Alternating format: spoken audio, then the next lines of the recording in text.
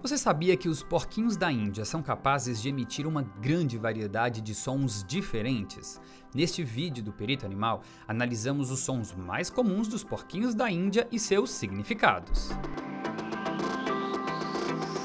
Chiados agudos e altos. Os assobios ou chiados muito agudos e constantes que o animal emite repetidamente e em alto volume são usados pelo porquinho da Índia para chamar a atenção de outro indivíduo, como seu tutor humano. Você pode ouvi-lo chiando assim quando ele te vê chegando em casa depois de algum tempo separados, quando quer brincar com você, ser abraçado ou quando está com fome. Tenha em mente que se os chiados forem mais altos que o normal, mais rápidos, e se o animal estiver muito nervoso ou agitado, é possível que algo o esteja assustando ou que esteja com algum tipo de dor.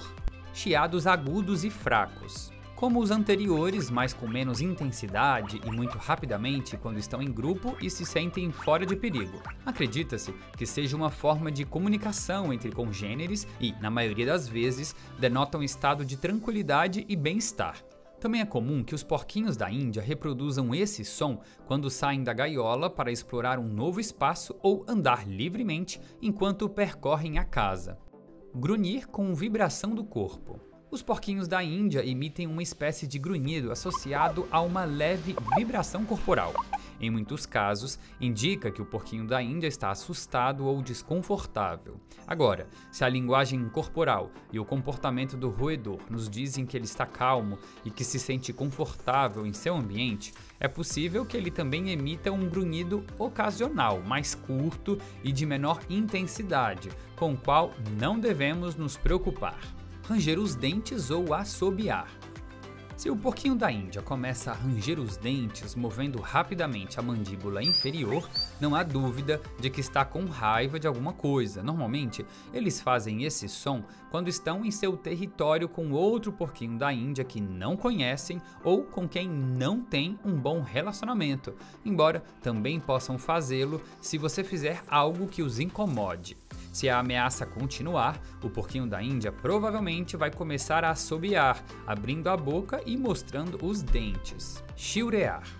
Este som é muito confuso para quem o ouve, pois é surpreendentemente semelhante ao chirear de um pássaro. Embora se acredite que esse som possa estar relacionado à chegada do cio das fêmeas e, portanto, à busca por um companheiro, ainda não está muito claro qual o seu significado, já que é muito incomum ouvir as fêmeas chiureando zumbido. É um som muito semelhante ao rufar de tambores. Este ruído em particular é grave e profundo, e quando o porquinho da Índia o emite, todo o seu corpo vibra como se estivesse roncando. Neste caso, o roedor está indicando sua disponibilidade reprodutiva, ou seja, informa aos indivíduos em seu ambiente que está pronto para encontrar um parceiro e procriar.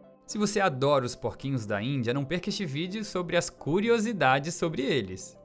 Chutting. Este término em inglês é para um ruído muito sutil e geralmente não é ouvido com muita frequência. Lembra muito o barulho que o sapo faz, só que menos intenso. Este som indica que o animal está relaxado, feliz, confortável e que confia no seu tutor e no ambiente que está. Por isso, é um dos sons com conotação mais positiva de todos os emitidos pelos porquinhos da Índia. No vídeo que deixamos acima, explicamos como saber se o porquinho da Índia te ama.